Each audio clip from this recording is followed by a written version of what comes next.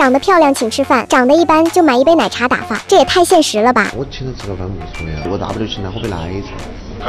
哦，你看不上你就请他喝杯奶茶。大哥二十九岁，是名外墙工程承包商，月薪两万左右，名下有房有车有门面出租，另外还开了一家小酒馆，每年分红都有六位数。这次来相亲，大哥将约会地定在了自己的出租屋，结果相亲女嘉宾还没到，前女友反而找上门了。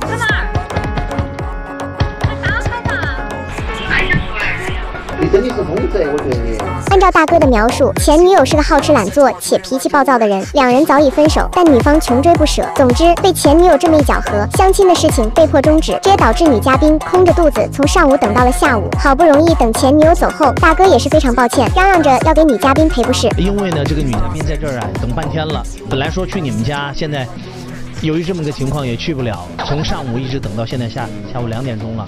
你赶紧安排一下。我现在去找个吃饭的地方嘛，请求你把女嘉宾邀请过来。到了餐厅后，大哥啥也没干，就坐椅子上玩手机。没人上前问了，才知道人家绅士着呢。点菜了吗？啊为什么？这个是本来那就我肯定把菜单拿给别个点噻。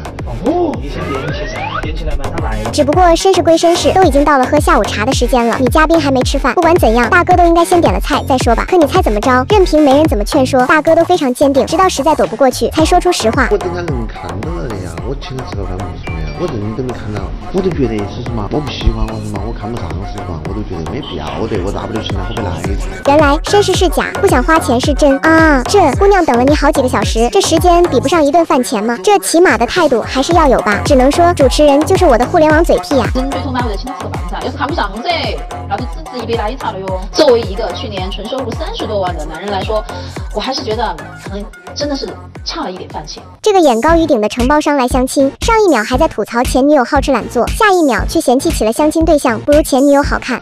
哎，只能说一般偏下，只能说。那你要求有点高。我不是要求高不高，当全牛都当不到，当全牛都当不到。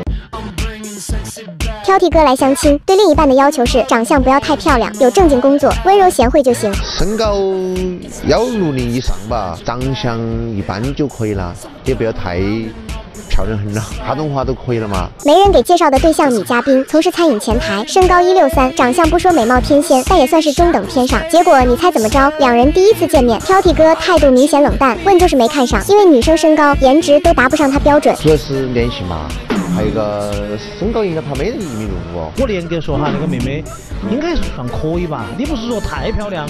哎，只能说一般偏下。所以评价女生外貌也就算了，挑剔哥还要带上自己的前女友进行比较。当全女友都当不到，我何必嘛。啊，这我真的直呼救命！挑剔哥和前女友现在还处于纠缠状态，女方时不时找到他家求复合。提到前女友，挑剔哥那叫一个不满意。首先是脾气不好，他吵架的跟疯子一样，哦我都打了派出所打了两次。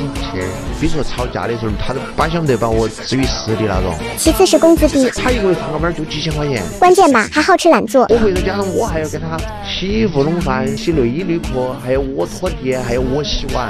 从挑剔哥的语气中看得出来，他是真怕了这位前女友，连带着语气都流露出反感。只不过谁又能想到，挑剔哥一边嫌弃前女友，一边却将前女友搬出来和相亲对象做对比呢？但不管怎样，挑剔哥和女嘉宾总算是坐下来聊天了。可心的问题也出现了，原来挑剔哥一直没有删除前女友联系方式，用他的话来说就是自己没有删人的习惯，哪怕前女友三番两次找上门。我一直没有删他，是他说我，我跟那个女的都在一起了。就是断干净啊，他背出的一个生女。但是他现在是不晓得我耍了。如果说他晓得我耍了女朋友后，他是会退去的，他不会再纠缠我。呃，咱就是说，哥实在不行，你就和前女友复合吧。